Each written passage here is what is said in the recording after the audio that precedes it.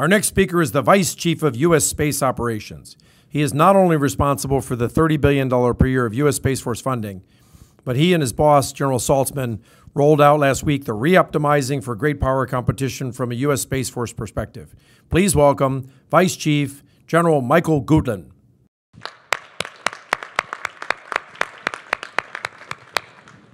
Can you guys hear me? Oh, I can hear myself, so that's good. So uh, we'll see if you guys clap when I get done, as much as you clapped when I got up here. So uh, good afternoon. Uh, thanks for the introduction, uh, and thank you all uh, for being here today. So today, I'm going to spend a few minutes uh, really talking to you about what is the security environment that we're dealing with today, and what is the Space Force doing to ensure we can guarantee the use of space for the generations to come. So if you guys have heard me talk, I always start off with the threat. I start off with the threat because the threat is the why. It is why we stood up the Space Force in 2019, and it is why you all are here today. So it kind of drives the dialogue going forward. So that's where I always start.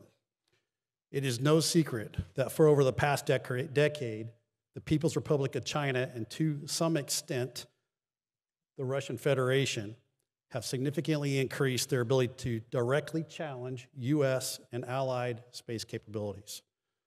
Not only have they demonstrated the intent to deny our use of space for peace and for defense, but in many instances, they have also proven the capability to do so also. And they continue to demonstrate their willingness to go against international norms of behavior and to do so in an increasingly unsafe and unprofessional manner. Both Russia and China openly are developing and testing counter space capabilities today. Each country has demonstrated the use of kinetic weapons to destroy satellites on orbit, polluting the space environment for everyone by scattering thousands of debris fragments and endangering hundreds of satellites. In November of 2021, Russia destroyed one of their satellites on orbit by launching a missile at it and creating over 1,500 pieces of debris. That debris cloud caused the seven members that are aboard the International Space Station to take shelter multiple times throughout the station's orbit as it was intersecting with the debris. On board were four Americans, a German, and two Russian cosmonauts. These aggressive actions and their willingness to put their own cosmonauts at risk are only a fraction of the unsafe and unprofessional behavior we are witnessing every day from our near peer competitors. And this only scratches the surface of what their total capabilities are and only a glimpse into how we expect to operate in the future. Space is different from the other domains. Our modern societies depend on space for our way of life and for the amenities we have all come to enjoy and to rely on. In space, there isn't a delineation of friend or foe, military or commercial, government or civil. No one will be immune from a conflict that extends into space. Additionally, Russia has openly stated that every space asset will be seen as a potential threat or a target, regardless of its flag. We are all in this together. We're all competing for the same real estate, subject to the same physics, vying for the same orbital slots and spectrum allocation, and all subject to the same threats and environmental impacts of a conflict in space. Therefore, we must sound the alarm and generate a sense of urgency. We must reassess the way we operate in space, the way we think about the threat, the way we partner for the greater public good, and we must realign our resources accordingly. Today, the Space Force is the smallest military service and is funded at $30 billion a year. This is a bargain by any stretch of the imagination, but it is woefully inadequate to get after the increasing threats that we are seeing and what is required for us to prepare for great power competition. The Space Force spent the past two years under, or the first two years under CSO number one, establishing our identity. We have spent the last two years focused on pivoting towards integrating into the joint fight and changing our culture. We are transforming to a warrior mindset, laser focused on the threat. We are pivoting from service and system focused force development to capability focused force development. In an integrated and networked fashion, we are fielding resilient space capabilities. We are responding on operationally and tactically relevant timelines as demonstrated by placing the Victus Nox payload in orbit 27 hours after it was called up. an unheard of feat in space. We are achieving unity of effort through partnerships by partnering with ops and acquisition, partnering between Title 10 and Title 50, partnering with our international allies, partnering with industry through the, the Commercial Space Office, and we are having transparent conversations and discussions on the Hill and with the administration. We are establishing component commands in each of the combatant commands. To date, we have established four EUCOM and AFRICOM, INDOPACOM, CENTCOM, and U.S. Space Command. And we are establishing the CONOPS, the TTPs, and the advanced training necessary to be a credible joint warfighting force. If you look back 24 months ago, we have come a, a, a, we have come a long way, especially for the government. However, we have a lot more to do, and time is running out. Under the label of reoptimizing for great power competition, the Secretary of the Air Force has been working to pivot the entire, and I mean the entire Department of the Air Force, to getting after the near peer threat. Great power competition is more than just a bumper sticker. First, we started by crafting the seven operational imperatives, with the first initiative being the space order of battle, because space is the foundation of the joint fight and is the foundation for our way of life. If we lose space superiority, we lose the fight, period. Now, under the Secretary's leadership, we've embarked upon a full blown reoptimization of the Department of the Air Force. Our policies, Organizational constructs and processes must all improve to meet the near peer challenge. In space, we are pivoting to a purpose built Space Force under the four pillars of capability development, people, readiness, and power projection. Under capabilities development, we are standing up the Space Force Futures Command. It is a new field command that forecasts the threat environment, develops and validates the operational concepts, and conducts experimentation and war games and performs mission area design. This includes strengthening our science and technology processes by prioritizing and streamlining S&T so that the research labs can map their efforts more directly to our needed capabilities and overcome the valley of death. Under developing people, we are developing joint-minded warfighters who can understand and act in the battle in the context of the space domain. We are redesigning career paths to produce guardians who meet its high tech operational demands. We are creating the officer training path for new accessions and expanding the educational and development opportunities for all of our guardians military, civilian, and or officer, civilian, and enlisted. We want everyone to learn what it means to be a guardian first before we steep them into their specific career fields. Under the transformational authorities granted us by Congress, we are creating a single full time and part time active duty Space Force under the Space Force Personnel Management Act. This will allow our Guardians to transition between part time and full time as the Space Force mission allows and to meet life events and personal objectives. Under generating readiness, we are building the operational processes and training capabilities needed to prevail in today's increasingly contested environment. We are providing, providing Guardians realistic, threat based training through robust operational test and training infrastructure. We are building live ranges to simulate the actual space environment. And we are creating an intelligence informed inventory of adversary capabilities and investing in high fidelity, mission specific simulators. Under the final category of projecting power, we are fully integrating our Guardians into the joint force.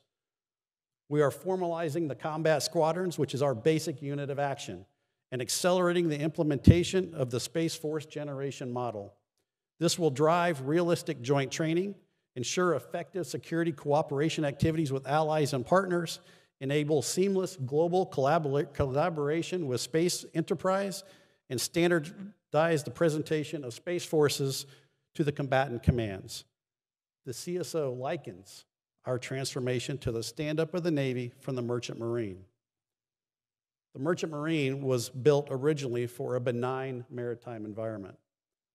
But given the contested nation, na nature of the sea domain, the U.S. Navy arose from it and achieved domain control.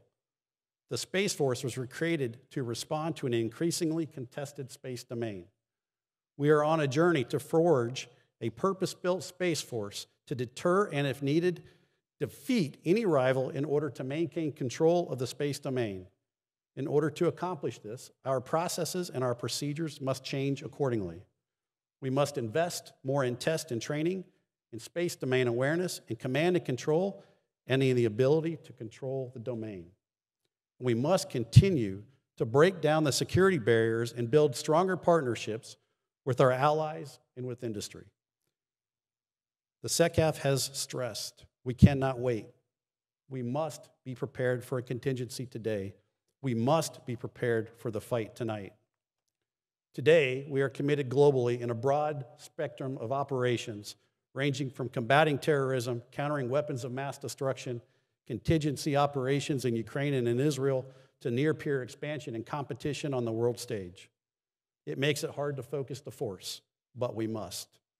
We must stay focused on the goal of completing the pivot to the great power competition. Space is a warfighting domain, and in order to, sh- to ensure the security and the sustainability of the domain, the Space Force must be able to guarantee space superiority. Space superiority is our first core and foundation for everything we do, core function and foundation. A service must control its domain before they can access it and in order to exploit it. This means we must know what is happening in the domain and we must be able to credibly respond to aggression. This is a fundamental premise behind the CSO's theory of integrated deterrence and competitive endurance. Under the theory of competitive endurance, the Space Force needs to be resourced and postured for perpetual competition because the alternative to competition is conflict. And no one will prevail if conflict extends into space.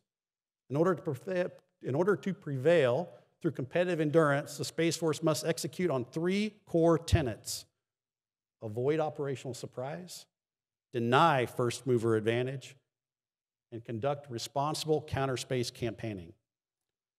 But space is huge, and the Space Force is resource constrained. This brings me full circle to the messages I want to leave with, leave with you today. We are seeing more change than at any time in the history of space there is more change coming as the Air Force and the Space Force continue to pivot towards reoptimizing for great power competition and competitive endurance. If you have been away from this mission area for more than 12 months, I argue your knowledge is dated. I challenge you to reevaluate your assumptions and your understanding of space because the threat is real, it is determined, and it is capable. We are countering the threat with the world's greatest Space Force, crafted and forged from the world's greatest Air Force. Space is an integral part of our economy and our way of life. Space enables the joint force to protect and defend the nation's interests worldwide. We must ensure we are properly resourcing the Space Force for competitive endurance to ensure we can guarantee space superiority well into the future. Today's Space Force is a bargain but tomorrow's Space Force requires a ruthless prioritization of resources to ensure we can continue to enjoy the freedom of action in space that we have all come to depend on. You should be incredibly proud of your guardians and the changes they are making. Make no doubt about it, your Space Force is the greatest Space Force on the planet, and we're committed to keeping it that way. Semper Supra, and I'll take your questions. Uh, uh, General, I'll open up with a question, uh, and I'll certainly understand if there are aspects of this that you can't or don't want to answer. Uh, is there anything that can be shared of recent reports of the potential Russian plans to place nuclear anti satellite weapons in orbit to blanket U.S. constellations? And if you can't answer that, is this at least an opportunity to educate the American people on the criticality and the relevance of the Space Force mission? I cannot comment, uh, uh, comment on that press release, I would recommend you talk to the National uh, uh, Command uh, Authority, National Security Council. Um, what I would leave the American public with is we are observing every sing single day unsafe and unprofessional behavior from our near peer competitors. That unsafe and unprofessional behavior, as I talked about, is absolutely committed to denying our ability to use space for peace and for defense, and they are starting to prove extremely capable at doing that. We have got to counter that threat to ensure that the space capabilities that we have come to depend on for our way of life will be there well into the future. and to make sure our children's children can enjoy the quality of life that we enjoy today.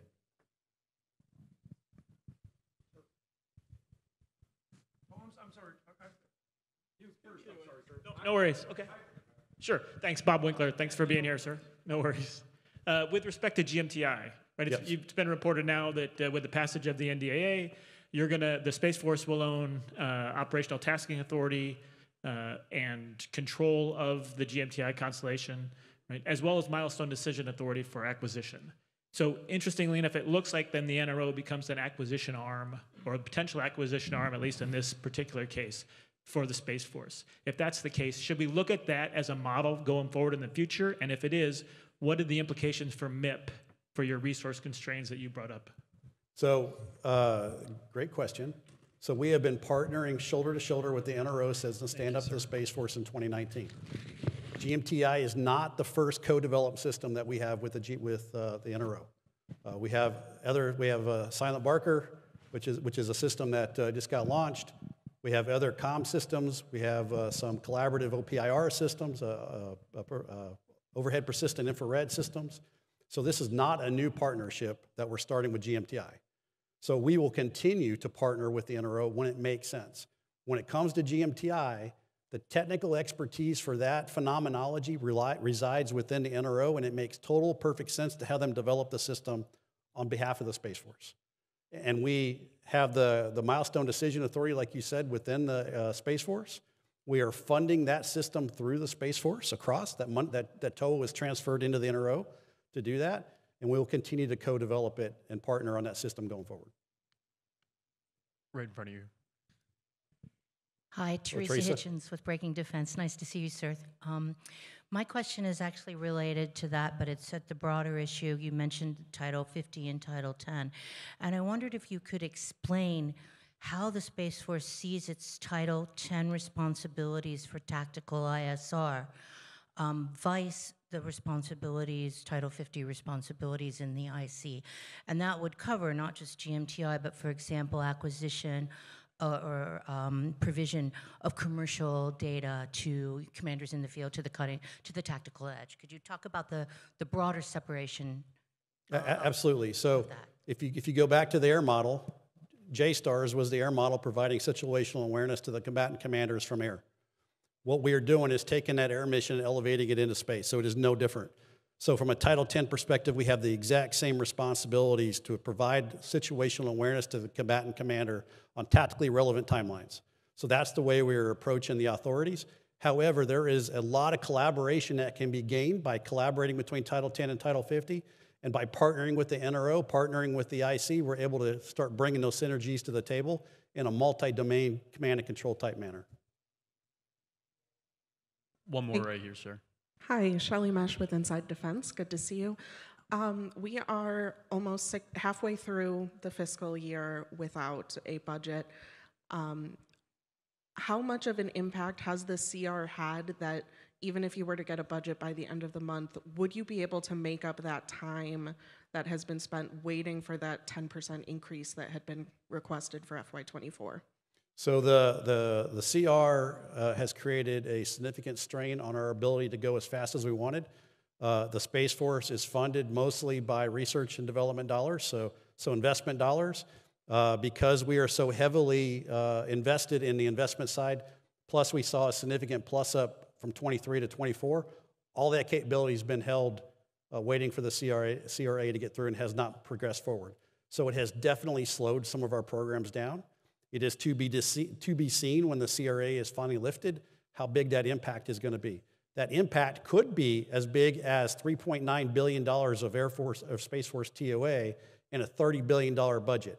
That's about 14% of my buying power I could lose. And just to put that in perspective, we're looking at losing about seven national security space launches if we don't get the CR lifted. Hi, sir. Uh, here in the back, Courtney Albon with C4ISRNet. Uh, yeah. I can hear you. Hey, I just wanted to ask. Um, you started out talking about uh, the threat and um, this pivot toward uh, more resilient systems. Um, I wonder if you can speak um, even broadly about how we'll see that reflected in the 25 budget next week. And then also, um, you know, you've you've talked about some of these themes for the last two years, particularly, um, you know, the the re- resilient space system side and and kind of getting to a better place there by 2027. What's your you know evaluation right now about of where the space force is at in that uh, push? The, the push towards resilient space systems has uh, increased significantly in the past two years as we've made this pivot towards resiliency. Uh, we are getting, there's many different ways to get after resiliency. You can harden the satellite, I can re- make redundant systems, I can proliferate constellations, or I can build partnerships with allies and with commercial. We are going after all of that from a Space Force perspective to get after resiliency. So we have seen a significant improvement in resi- resiliency as we've been progressing over the past couple years. Going into 25, you're going to see more of the same when the budget rolls out next week. Uh, we are going to continue to uh, increase and improve our resiliency, continue to uh, improve and increase our partnerships, and continue to increase and improve our capacity going forward. And that'll be rolled out next week.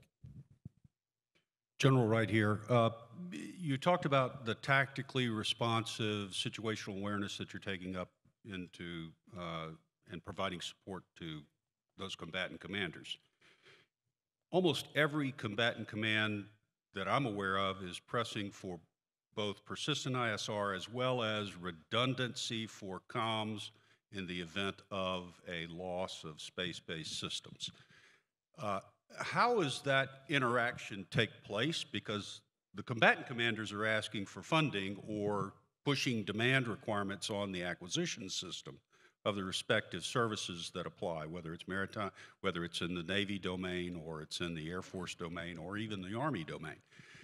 What is that collaboration like? I'm assuming you don't oppose the aerial communications redundancy in the event of, or do you? We do not oppose the redundancy. That gets back to after some of the resiliency questions. I need that redundancy in my proliferation to increase my resiliency. So we don't oppose it at all. Uh, we are partnering with the combatant commands. You talked about tactically surveillance, reconnaissance, and tracking. For those of you that aren't tracking what that is, that is the purchasing of, uh, of data from industry, from commercial platforms, to provide situational awareness to the combatant commands. We are currently partnering with four separate combatant commands in that pilot program as we're going forward that will provide that commercial data to the combatant commanders. On the SATCOM side, we're also having conversations because when you get into the redundancy, we're going to have government owned systems, we're going to have civil owned systems, we're going to have international owned systems, and we're going to have commercial owned systems. I need all that redundancy to build out resiliency, if you will. What we've built into our commercial model right now is a working capital fund approach where the combatant commanders can actually bring their own funds to the table to buy additional commercial SATCOM over and above what I can provide them through the DoD side to give us that resiliency and that redundancy.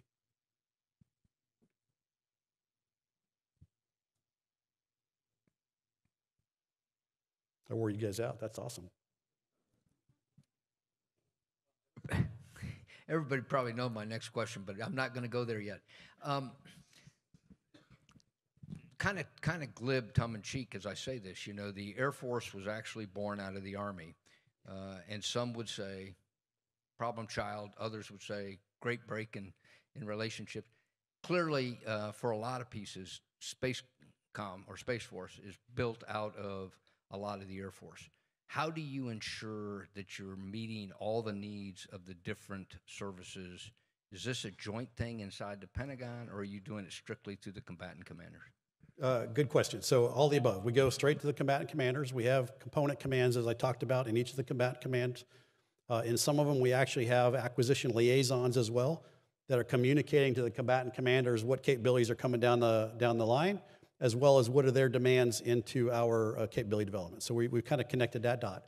I sit on the JROC, so I'm one of the JROC members in vetting the, the joint requirements. The Space Force was designated as the Joint Requirements Integrator for Space. So we have a direct feedback into the JROC of what the joint space requirements are and to integrate that into a joint space architecture. As always, the final question compound if you had one more dollar, where'd you spend it and what keeps you up at night? So that's my advantage of listening to General I Collins know, talk. no, so no, now I no. got the Th- answer. General and I'm not going to give it to the the- Marine Corps. He clearly had the best answer I've heard all day. I give him that.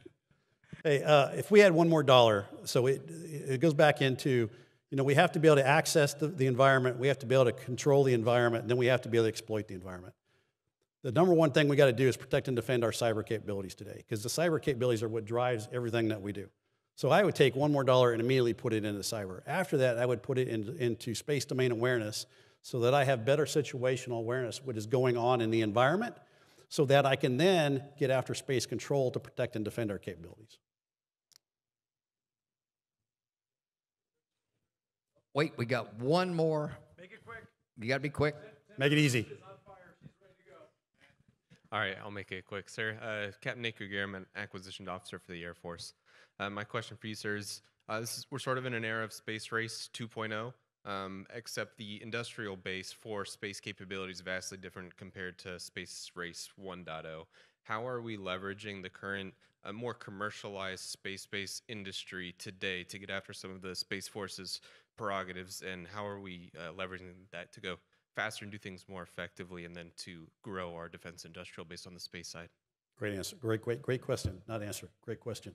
Uh, so let me start with um, our industrial base has been there for every conflict we've ever had since the beginning of the United States. They have bailed us out numerous occasions, as late as the Middle East with MRAP. So we've always had a very robust commercial market uh, with us. And if you look at what are our three core competencies, our three competitive advantages over adversary, first and foremost is our industrial base. Second are our allies and our partners, and the third are our people and the way our people innovate. Um, in the space commercial market today, we're seeing an enormous explosion of innovation, and it's outpacing everything else we've ever seen since the race to the moon. So, what we are building in is a very robust commercial partnership through the Commercial Space Office to take advantage of those partnerships in a very synergistic manner. For example, standing up the commercial space augmentation. How do I, during peacetime, partner with commercial to ensure that I'll have that capacity during times of crisis or conflict? How can I share with them the threat data during peacetime so that I can help them protect and defend their systems uh, in peacetime so that I know that that capability will be there during times of crisis or conflict? How can I share with them during peacetime where we are going, going as a force so that they can invest their IRAD dollars in there to make sure I have that capability in the future? So we have a very robust partnership with our commercial industry. Thank you. Hey, so thank you very much, sir. It's another great round of applause. Thank you.